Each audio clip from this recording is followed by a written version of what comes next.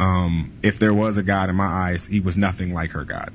And I understood the reason, I think, for her, her God because of her experiences, but there was no way that that God could coexist, coexist in, in my life. And she wanted that, and I couldn't give that to her. So I wrote a song called Action, which was about me being an ex-Christian. Um, and, you know, I, I never, I don't think I ever set out to be an atheist rapper or the atheist rapper, anything like that. I think people have the wrong idea when they when they assume that you know I, I chose this audience as you know well this is hey there's a vacuum here. There's nobody talking about atheism. Well that's not true. There were people. There were atheist MCs there was Mr. Gone. There was Sickness.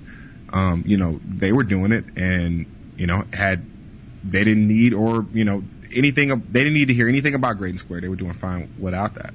But I wrote the song Extion um, about me leaving religion and or basically the the problems that I had had with it. And basically it was a response to her. It was that song was a response to her arguments.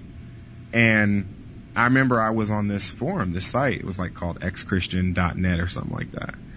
And um I posted that story with about me and her, you know, basically I was like, look, you know, I'm having this argument with my ex-girlfriend. It was this big long thing. And at the end, I was like, yeah, and I wrote this song, you know, I, I kind of amateur rap, you know, if you guys give it a listen, you know, go ahead. So people started listening to it and, you know, the, the, the reception was lukewarm at first. I think, um, I think it caught a lot of people off guard.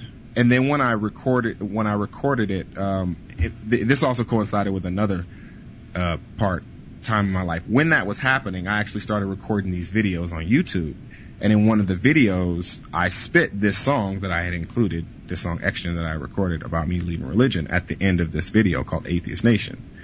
And, um, you know, I would get a lot of views from that, those videos and stuff like that. So when that song was, when I spit that song at the end of that video and also released that song on xchristian.net, you know, it kind of got circulated among the, the atheist online community.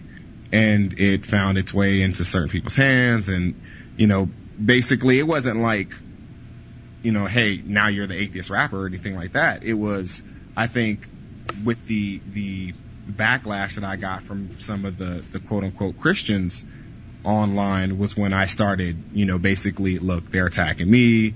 You know, I'm gonna go back at them. I have no problem with that. If your arguments, you know, are basically if your position is ridiculous, I'm gonna attack the fact that it's ridiculous. I have no problem with that, and I have no problem doing that lyrically. Um, we should all do that. I think the, the, the idea of the, the atheist rapper, I think, comes from for a lot of people who, especially if they don't really know too much about the industry. Mm-hmm. People often see the music industry in general as one that very much embraces uh, Christianity or religion in general. If right. you watch the award shows, everybody and their, their dog is, is thanking God for something. But it doesn't and just stop with music. It's all forms of entertainment. I mean, you get that in, in basketball, you get that in football, you get that in horse racing. You know, guy gets off a horse. I want to thank God for giving me this horse. Like, you know, I mean, you, you get that type of stuff. And that's just the, the, the fact that religion is so ingrained in our society that you know it's just almost inescapable. So, but it's nice to see that you know the the although we're a minority, we're quite a substantial minority. I think the the figure everyone quotes at the moment is 15% in this in this country of people who identify themselves as, for want of a better word, unchurched, mm-hmm. and that's why it's such a pleasure to see someone I coming like that word. And unchurched. being unchurched sounds like a song title. Exactly. Oh, well, churched. if it inspires a song, then even better. Uh, unchurched is a nice expression, and that's it, it, it, as opposed to irreligion, and you know, with everything like this, with the whole secular community, there are about thirty-five or forty different names. You know, skeptics, free right, right, free thinkers, absolutely. Unchurched seems to be the biggest biggest I umbrella. I just, why haven't I heard about this before? The unchurched. that's awesome. Han, I think the first time I ever heard that word was from you, actually. Did yeah, you never did you make that word? I certainly didn't make it up. Absolutely not, but I can't remember where I heard it. It's great. It's a great word. It aptly describes all the non-religious people I know. Yeah, it's it's the nice big umbrella. And apparently there's about 15% of us, which is is a heck of a lot of people. So, and, and there are a lot more people, as you say, you know, uh, religion is so pervasive in this country, and a lot of people have those opinions. If they're not directly atheists, they're agnostic or extreme doubters, but they feel that they can't come out and express that because the culture frowns so heavily on that, which I think is why it's so refreshing to to see someone out there in the music business who is willing to be completely honest about the fact that they just really don't believe it, that they have a real problem. Well, listen, like I think it's it's unique only in the context of hip hop because I I think that in other music genres th- there have been some challenges uh, towards organized religion and uh, persuasive religions, but I just think in hip hop because it's a predominantly uh, you know African American um, culture that resides in hip hop. Not to say it's all, but you know that's the majority of of, of it here in America, at least.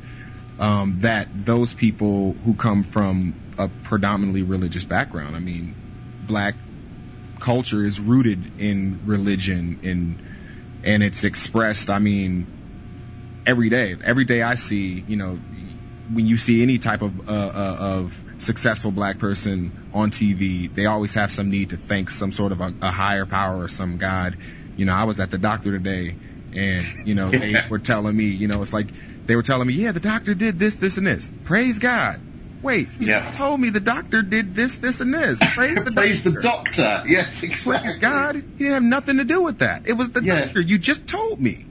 And yet, if something falls on their head, like so the house falls on their head, or like Oh, it's your fault. It's original It's the yeah, devil, you exactly. know? Yeah. No, God, God had nothing to do with that. Yeah, He's it's only such a there for the cop out. I mean, that's Yeah. where where the hypocrisy lies in personal responsibility.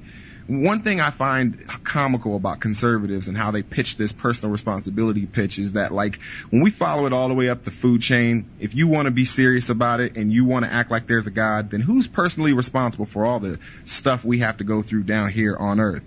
If there is a Satan, who's responsible for that? Yeah. If there is evil, who's responsible for that? You want to take personal responsibility? Then let's place responsibility where it lies. Exactly. As Truman said, the buck stops here. So, you know, uh, but we, we can just acknowledge the fact that, look, there is no God, never was, never has been, never will be.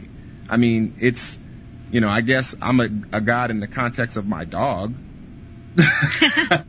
Only when you feed him. If exactly. you don't, you're the devil. Something like that. But, you know, if you're talking about some all powerful being that originated before the universe, that created the universe, that, that you use to explain why things the way they are, look, you're doing more, a much bigger disservice to your, your claim than you're, you're doing a service to it. So.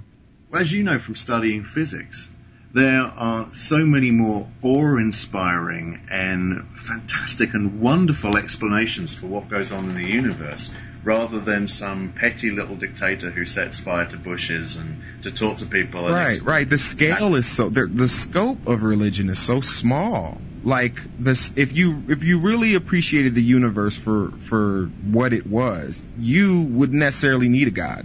It, that alone is Yeah. awe inspiring. Carl Sagan said exactly. The sheer just I, you know volume and mass and and and just range of the universe and I mean, come on, really? You're basically telling me, besides that, that there are three realms: Earth, Heaven, and Hell. That, and everything's centered around this right, little and everything that that we can observe in the universe, as as vast as the universe is, basically is revolves around those three realms. Yeah.